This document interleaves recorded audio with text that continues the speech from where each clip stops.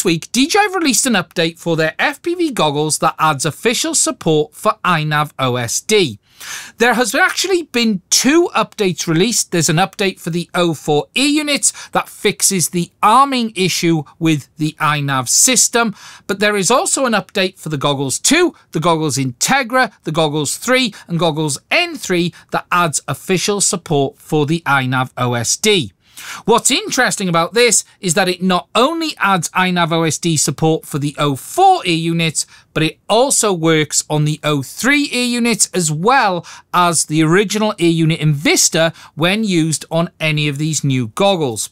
What I'm going to do today is explain exactly what the situation is, what you need to do to get it working, and hopefully by the end of this video, you'll be able to enjoy that lovely iNav OSD on your DJI Digital FPV system.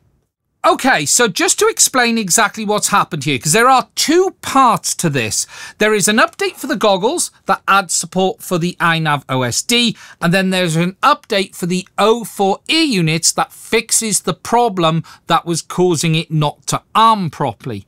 Now, just to be crystal clear, the update for the O4 Air unit has nothing to do with iNav OSD itself. It is simply to fix the communication issue between the O4 Air units and iNav that was preventing it arming correctly. It is the update for the goggles that adds support for the iNav OSD. DJI have released this firmware for the goggles 2, the goggles Integra, the goggles 3, as well as the goggles N3. When using any of the air units that are compatible on those goggles, you now have official support for the iNav OSD. There is no need to update the air units because the OSD side of things is not on that side. It is all on the goggle side. And as a result of DJI adding the official iNav support for the O4, it is also there on the O3 and air unit in Vista when used on the goggles 2, Integra 3 and N3.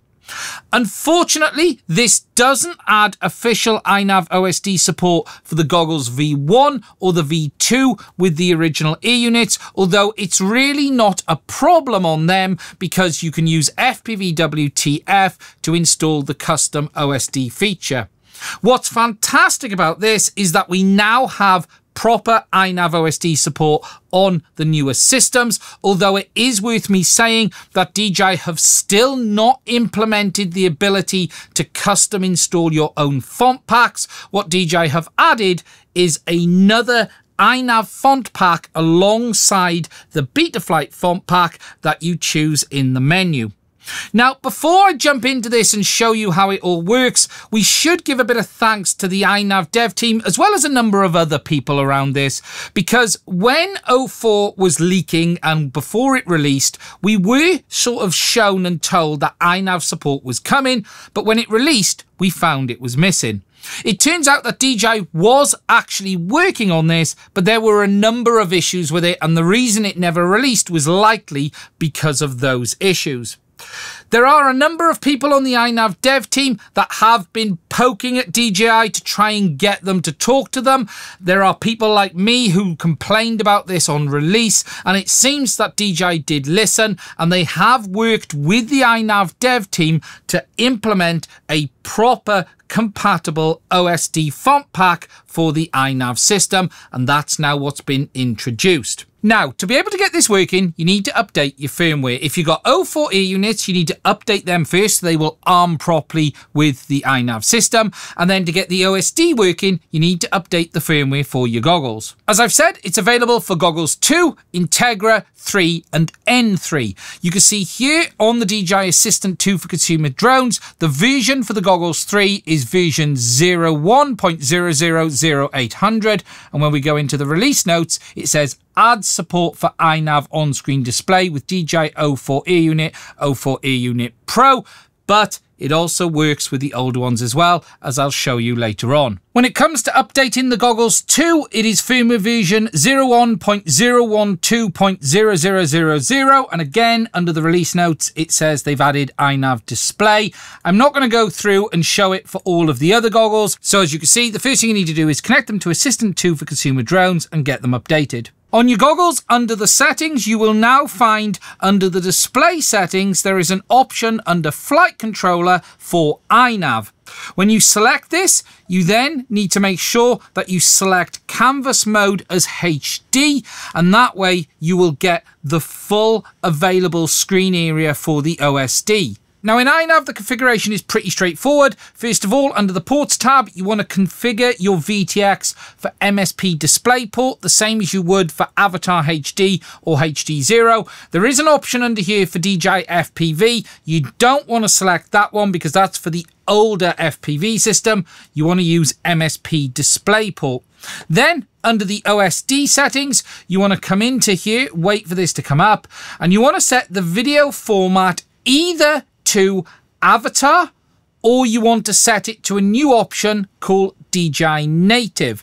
Now, DJI Native is something new that's been added as a result of this, but setting it to Avatar will work as well. There is DJI HD compatibility mode. This is the old mode that made the iNav OSD work with the old DJI system. But as you now have the full custom OSD, you want to use it with what is compatible and choosing Avatar is the best option or alternatively DJI Native.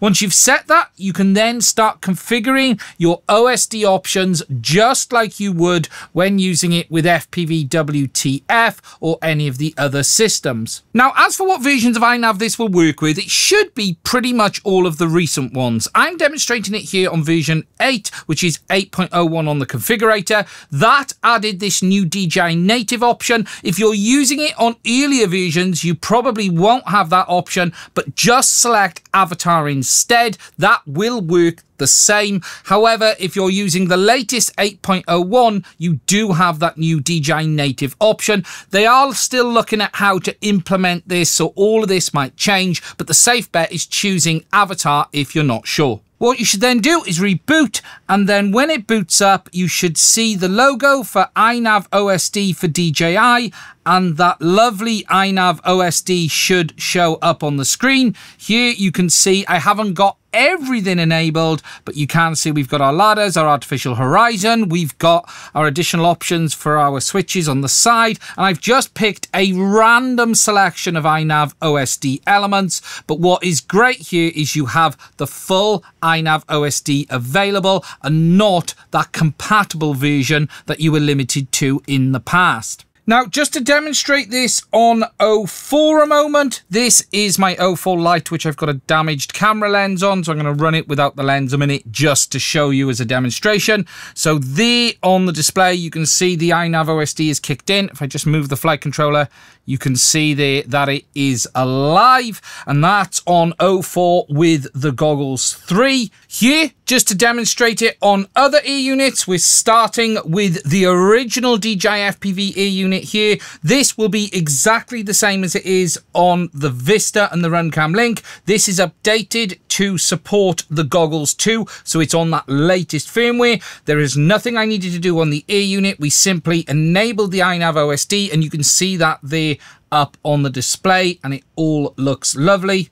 Next, moving over to O3, you can see again, we have that iNav OSD up on the display. Nothing I needed to do on the O3 air unit, just plugged it in and it's all up and running. So it's really great to see that it doesn't matter about the air unit, it's all about the goggle now. So goggles 2, goggles Integra, goggles 3 and goggles N3, regardless of the air unit, will all have that full iNav OSD.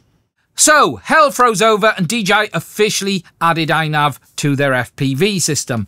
This is actually really good in the fact that it works with all of the air units and it fills in a gap that we had because V1 and V2 users would just use FPV WTF.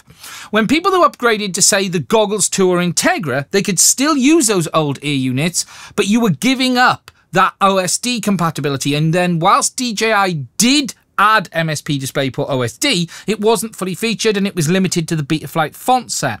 Now, if you're using those older units on your Goggles 2 or your Goggles Integra, you get full iNav OSD, so you somewhat claw back what you lost. You've got your Betaflight OSD, and whilst you can't have all of the lovely custom OSD with the fonts and stuff, this is good enough for 99% of people out there. This obviously does leave ArduPilot users a little bit in the lurch. However, I have heard whispers that ArduPilot might introduce an iNav font set, which means they can just use the iNav font set that's now in DJI. Whilst it won't give you every feature, it's going to give them more than they had with the Betaflight compatibility font set. So again, that's only a good thing.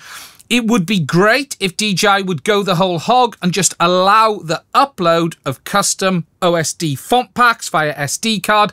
Just allow users to put the font pack on the SD and let us handle it, and rather than DJI have to handle it. However, I don't think that will ever happen, unfortunately, but you never know. DJI, if you are watching, please just take that extra step and you will never have to worry about this again.